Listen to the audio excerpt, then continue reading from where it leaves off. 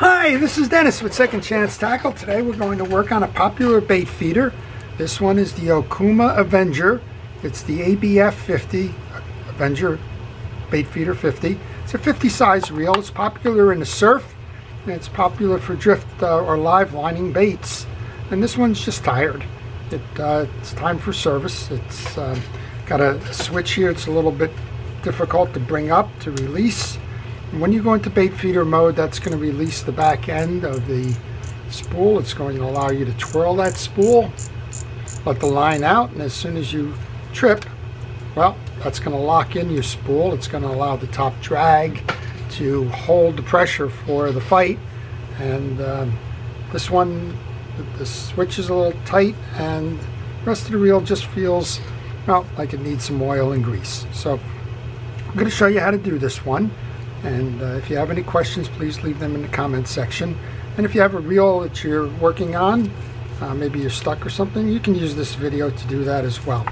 Uh, we're going to start by removing the external pieces. And the first thing I notice is that this cap is turning. So when that cap turns, it means that the handle goes through and you have to remove the cap, which is a cap in the screw. Somebody over tightened this one pretty seriously, but I just used the pliers to get this started. So those of you that are new to my channel or maybe even watching it for the first time, I would ask you to subscribe. And if you do subscribe, you're going to see me work on all kinds of fishing reels. This one's a spin fishing ocean reel, but I work on all kinds, spinning, bait feeders, um, bass reels, ocean reels, you name it. If it's out there and it's uh, a fishing reel, chances are you will see it over time on my, uh, on my channel, and subscribing is the best way to to know that it's out there and to uh, watch it if you're interested. Well, we pulled that through. This is the through bar I was talking about. It goes through the main gear. And I'm just going to put that screw right back into it so I don't lose it. You'll notice a couple of things. I wear a protective glove on my hand to keep some of the greases and that off. And off camera, I have a little parts tray. It's nothing more than a fast food container that uh, holds pieces and parts. And that's where I put all the pieces that I take off the reel because, well, I want to know where they are when it's time to put them back together again. Well, we know this one's working pretty rough. It's kind of hard in the throw. I'm thinking it's probably loaded with salt. I can see evidence of the salt off on the, uh, the joints here. So I'm going to put a little bit of penetrating oil on there. I'll use that just to kind of dissolve the salts. That should help with the movement. And now I'm going to remove this. Now this is a single piece and uh, what you want to do to remove that arm is to, well, penetrating oil is slippery, isn't it? It's another reason why I wear that glove. You want to take the screw out of that uh, piece and then very carefully we're going to just kind of pull it apart. Now, I haven't seen one of these break on this reel. I've seen them break on other reels where they're kind of harder plastic and uh, it's just dried out over time. But just be careful. I'm going to use a little screwdriver just to see if I can't pry it up. And that's all you need to do. Pry it up and off the post. And you should be able to do the same on this side. And just remember, when you got to put it back on, it's kind of a separated piece. And there is a little washer in here if you do lose it. Uh, or if you do find a little washer and you didn't know where it came from, that's where it comes from. So that'll go into my parts tray. And then now that opens up the removal of the case. But if you look on this case, you're going to notice that the case goes up and under the rotor. Right there. So you can't remove the four screws and just pull this case off. You got to take the rotor off first. To do that, you're going to remove remove the spool. You do that by unwinding the drag adjuster on the spool. And then you can pull the spool up. Put both of those underneath. We'll look at the drags later. And this one, uh, this one has a little click ratchet and a shim washer on it. So pull those two up. You, you'll see that there is a transparent washer on there, very hard to see, but notice that it's on the top, and that's going to control the line spooling, so don't lose that one. Once you do that, you can come in and remove the little set screw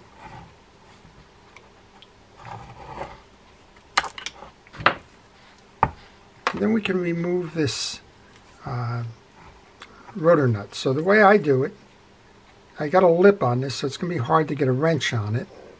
But I'll move it so that the axle shaft is all the way to the bottom. And I'm going to go for a deep socket. And I believe that's going to be a 12 millimeter socket.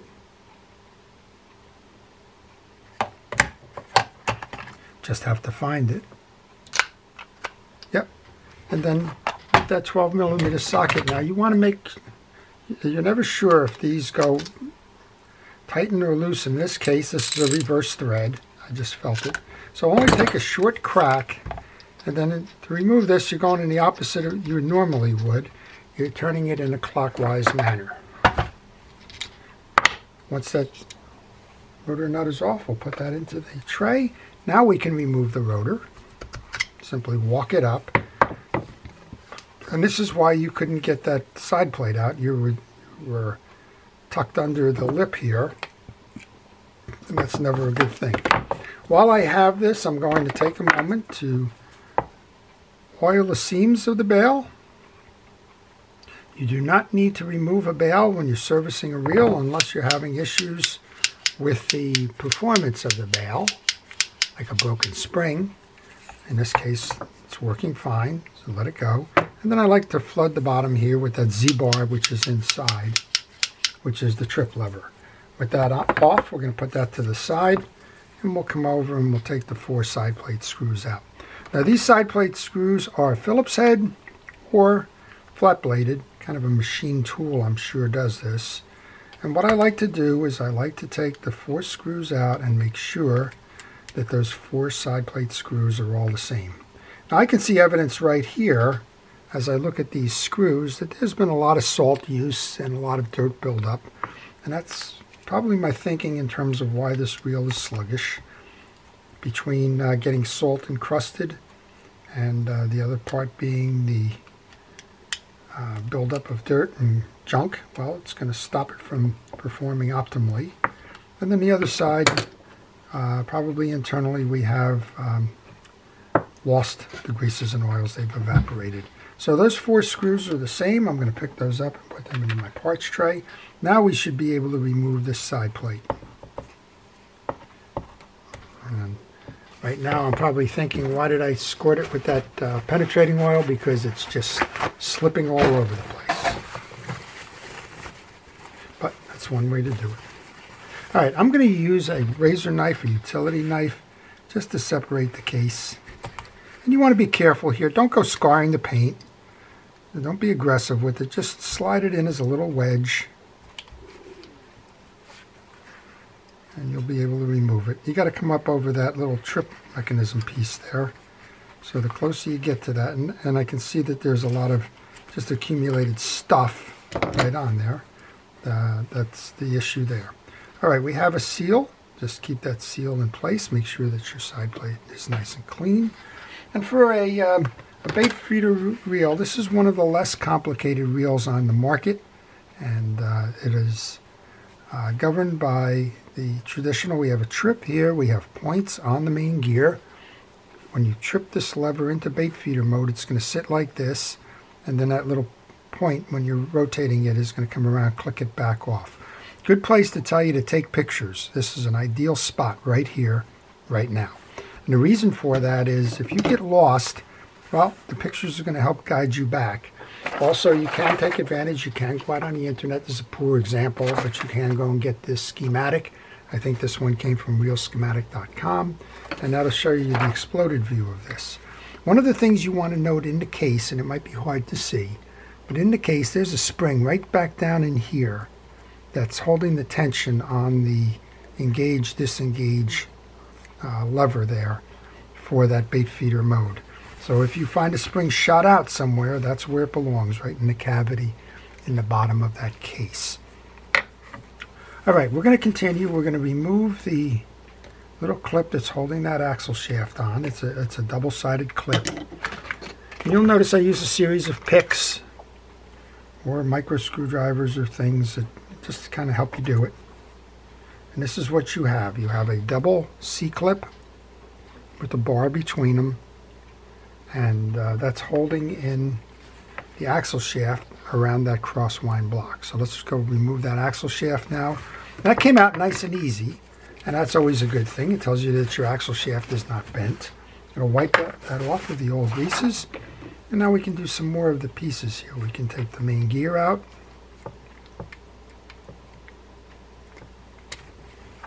Get the bearing off. There's two shims under the bearing. Pay attention to these. That's They need to go back in that order. I'm going to try and remove the cross crosswind block.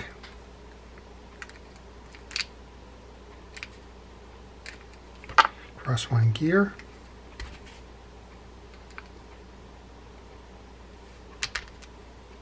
And then the main gear.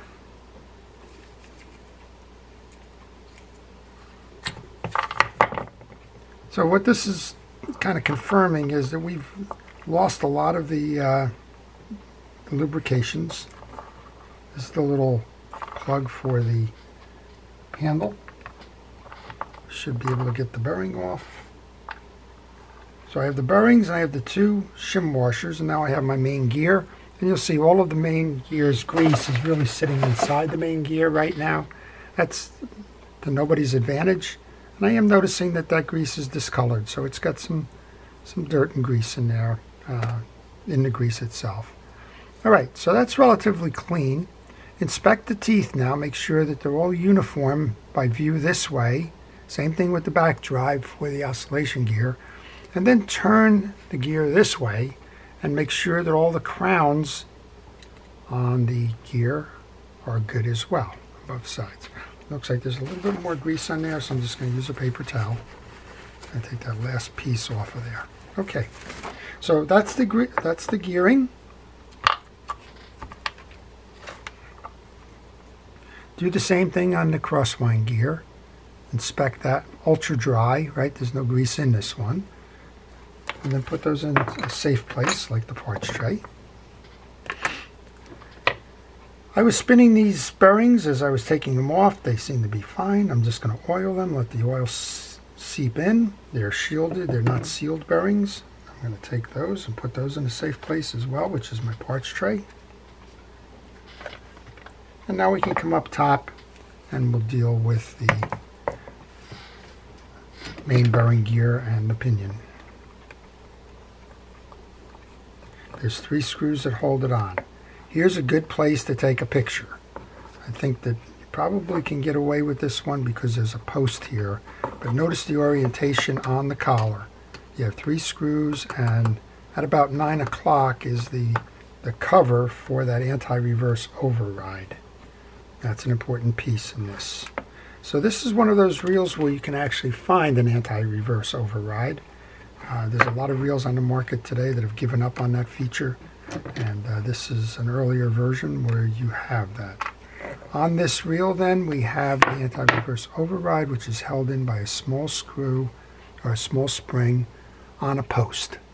So pay attention to that. You don't want to lose that as you remove the stack.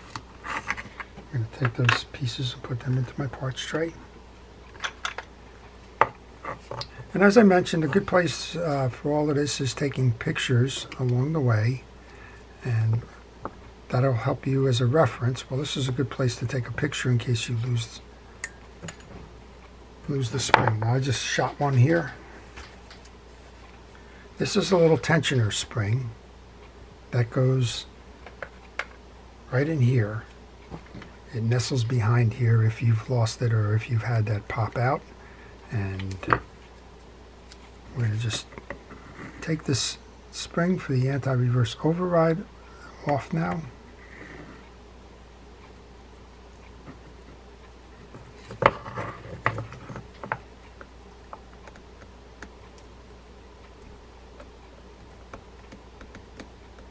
And I'm trying to hold my, my finger on it here because I don't want this one to shoot. This one's a lot harder to find than the one that just shot off.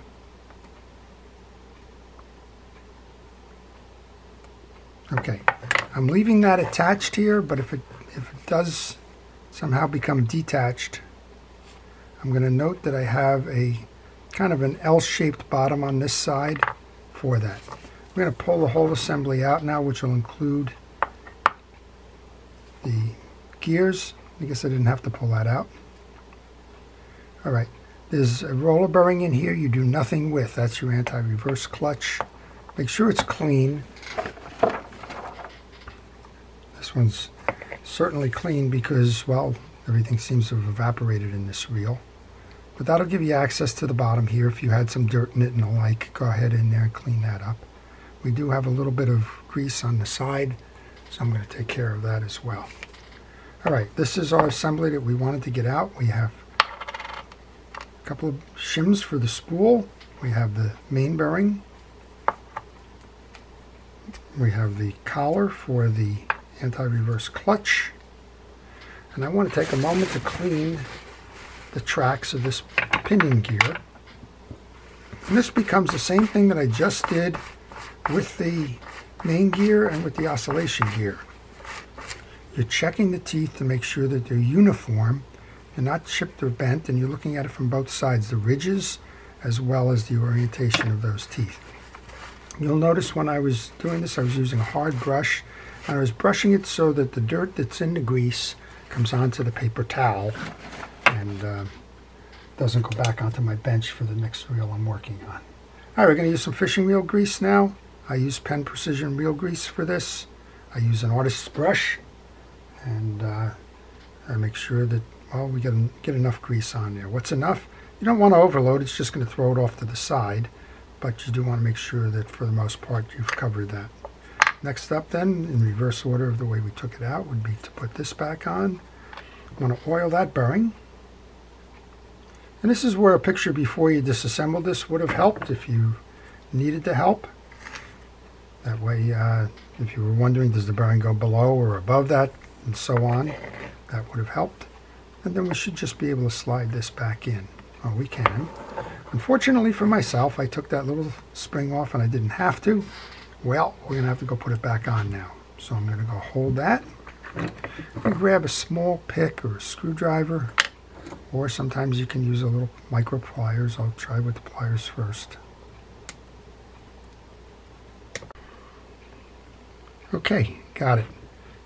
So you want to seat that all the way on the bottom of that little pivot point. You want to make sure that your piece is in there and the best thing to do right now is to test it. So we should have a functioning anti-reverse. We do. And then if I throw it to that over, override position, you'll see that the spring comes out and now I can backpedal the piece and then return it the way it should and we're okay. Before I go any further I do want to get that little wing that shot out and put that right back in there. That goes with the point facing backwards if you're curious how that seats and it seats when that little clip is even with the case here. Alright, let's just uh, do what the rest of this is all about. So when you're doing a fishing reel and the service on that fishing reel, it's all about taking the reel apart and then cleaning, inspecting, re-oiling, and re-lubing. So here's a question I got earlier. This is this is an interesting one. So you'll notice that we have two slots in the side case here. And I got a question. Somebody has a reel they have plastic bushings, and the plastic bushings have these tabs. And they said, can I upgrade my reel to bearings, even though bearings don't have these two studs on the outside? And the answer is yes, you can. And it's obvious from the Okuma design here that uh, they do multiple types of assemblies off of this and uh, they must use plastic bearings with studs at some point. So there you go. All right, we're going to take the main gear. We're kind of going in reverse of the way that we brought this out. We're going to kind of put the grease on the main gear on both sides. And then I think what I'll do is I'll go down below first and I'll deal with that drag rather than having all of this together and finding out that, uh, well, they will fall apart while I do this. Let's just grease this up and then go down below to the, the drag. The drag system is held in by a clip. You'll see the, the clip on both sides here. Again, another one of these little micro drivers or the like should be able to en enable you to pull that out. Just kind of have to walk it out. You'll see eventually that you do separate it. That was just a, a micro driver. Then it's going to pull that clip all the way out. And everything else just came out with it. There you go. I was going to take this out in a nice organized manner, but that didn't happen. It just all kind of fell out. Here's that spring I was talking about. If you happen to remove this trip lever here, that spring is right back in there. And that's how you're going to reset this. All right, the bottom is a carrier. You have a, a plastic carrier. You have a screw, which enables you to tighten and loosen. And you have a spring drive. That's all in the bottom end of the cup. On the top end of the cup, this accepts the um, axle shaft. You have one drag washer there. And then you have one drag, drag, drag washer below here. And these are all in good condition. So, okay, so we've inspected the drag parts. They're all fine. They've been cleaned. And I find the best way to reassemble the drag is to put the rest of the reel back together again and then reload that drag. Uh, just because the axle shaft helps to hold it easier. All right, we're going to do that then. We have a plate that we need to reinstall up top here. Remember what we said about the orientations. We're looking around 9 o'clock for this. We're also looking for that little stud. That's going to hold the, the retention plate in, in place. And we have the three screws, which I'll go to my, my box for. This, this is part of a series of reels that Jim dropped off. He dropped off about eight or ten reels for me. Uh, he asked me to do the service, and I get questions frequently, do I work on reels uh, by mail? And I do. And uh, if you're interested in having a reel serviced, well, I will certainly uh, provide you that service information if you send me an email um, to Second Chance Tackle, which is on the business card at gmail.com. But uh, the whole purpose of this channel really is teach you how to do it yourself. But uh, again, if you're not up for it, if you don't want to do it, if it seems too complicated, well, I do provide that support and that uh, service for you if you're interested. All right, I'm going to do the same now. We're going to just kind of work our way back up now. We're going to do the teeth on the crosswind gear. You want to do everything. You want to do the back side, which is going to ride against the stud in the case. You want to do the teeth. You want to do the face because the crosswind block is going to ride on that. That's what we'll put in next, the crosswind block. All these pieces have been cleaned. So we'll get some into that groove where the stud is going to work. Then we'll lay that stud, we'll lay that crosswind block in the stud. Next up then, we've greased and lubed our uh, main gear. Put that back in.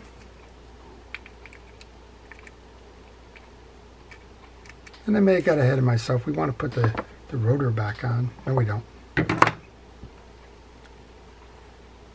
Remember what we did? We had a lock in the case, so if we put the rotor on at that point, uh, we're going to have some trouble. All right, we've cleaned the axle shaft, light coating of grease. Don't put a lot on, you're only going to squeeze it out. The axle shaft goes in next.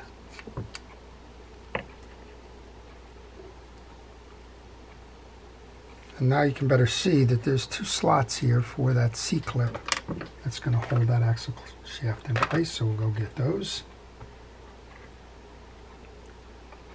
Line it up so that you have access to it on both sides. Flip it over so that it's against that crosswind block and then push it in to finish seating it.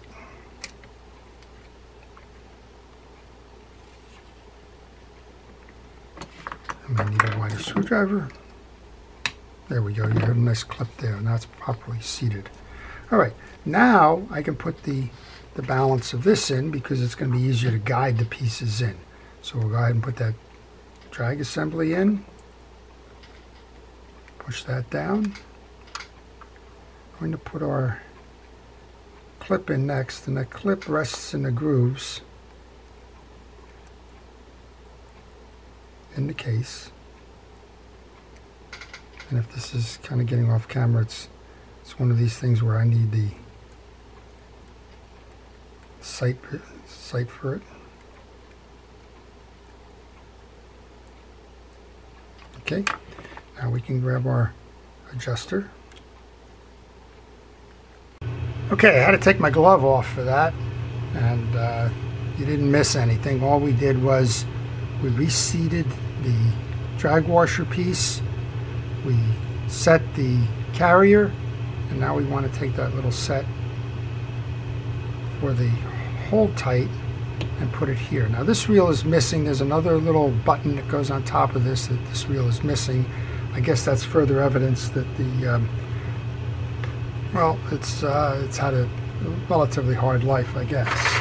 All right, so that's all we need to do short of replacing the bearings and the shim washers on the main gear. There's the two shim washers. Those come from the factory. Sometimes you'll find one, sometimes you'll find two like here, sometimes you'll find three. In all cases, uh, if you're going to change that main gearing, you, you, need to relook at the piece with the um, shims and uh, you may have to play around with it. It may not fit it perfectly. All right, I'm resetting the gasket. Now we can go ahead and put this back in. That's a little water seal. They're doing their best they can to keep the water out of the case. All right, we should be tight there. I heard a nice firm snap. You want to check the seams all the way around. Make sure that that's uh, working properly. And then we go back and get those four case screws. We know when we took these out that they were all the same screw. So when we go to put them back in, well, we'll do that too. While I'm looking in my case, I'm noticing that there's a little bit of corrosion on this knob. So it doesn't hurt for me to go ahead and put a little bit of penetrating oil on there, see if we can't kind of let that work its way in uh, while we're doing this. So again, I would encourage questions. I always encourage folks to work on their own reels, but I would encourage you questions. Maybe you started one, maybe you have a project and uh, you're stuck. Uh, well, if you leave a question in that comment section, I'll try to do my best to answer it for you. Okay. Now, the truth of the matter is on this reel and many of these bait feeder reels, those rear drags seldom wear out. And the reason for that is the this is not a rear drag fishing reel, so it kind of complements that. It's only being used when you're in that bait feeder mode. And when you're in the bait feeder mode, what it's doing more, uh, more than not is it's just tempering the way that the shaft is going to release. Okay, let's go ahead and put the rotor back on now. We've oiled all the pieces. We've made sure it's clean. Go reseat this. Go get that rotor nut. Remember, this came off in a clockwise manner, so it's going to have to go back on in a counterclockwise manner, or what is referred to as reverse thread. And then I'll go use my socket to tighten up the slack and flip my wrench over so I can do one more turn here. There you go. You can give it a spin at this time, see how it's doing. It's doing fine. All right, very good. All right, we want, I like to put the trip mechanism on next. Remember we had the screw side and we had a, a dead end side. Put the dead end side in first. Okay, we're getting to the end now. Once you hook the one side, set the other side and put the screw in. And then we can set the handle. And we'll go up top for those drags just to make sure that that works equally well. I know it's not important uh, if you're doing your own reel, but if you're doing somebody else's reel, always note what side the handle came out of. Some customers set them up for a left-hand crank like this. Some set it up for a right-hand crank. We had that little button that goes on the screw inside the handle there. Go ahead and put that on. And then just rethread this. Now this was over tightened to begin with. Imagine it was probably a little bit of slop in the the handle that they tried to overcorrect for. That can be done. I like to hand tighten it. Anything more than that usually causes a problem. Boy, did that smooth out. Wow, nice performance there. All right, we have a set screw that has to go on that rotor nut now that we've tightened that up. So let's go put that in.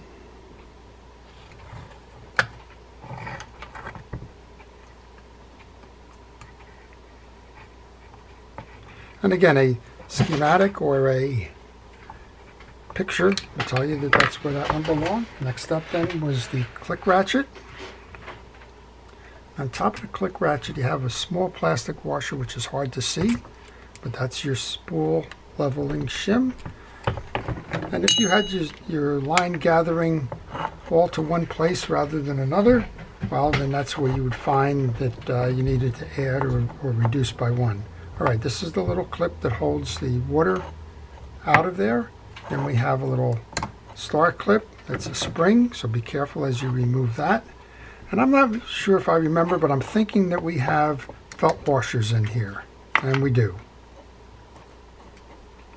So there's nothing wrong with felt washers. A lot of manufacturers will use a um, felt, some will use leather, some will use uh, Carbon-Tex or a hybrid. Felt washers get oil. I just got that question the other day. What's the, the best way to lubricate different washers? Well, felt washers get oil. That's to keep them nice and flexible and uh, to prevent tearing.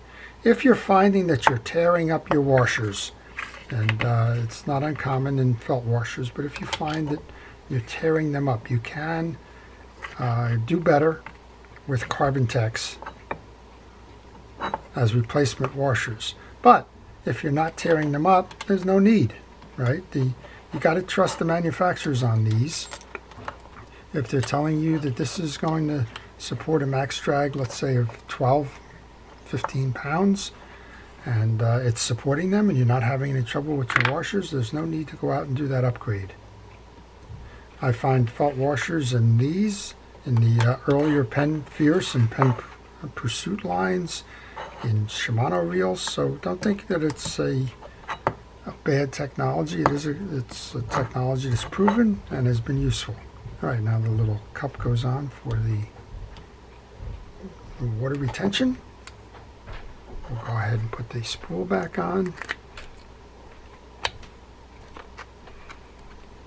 braid is on this. It wants to seem like it wants to get trapped in there. Put the star adjuster back on now.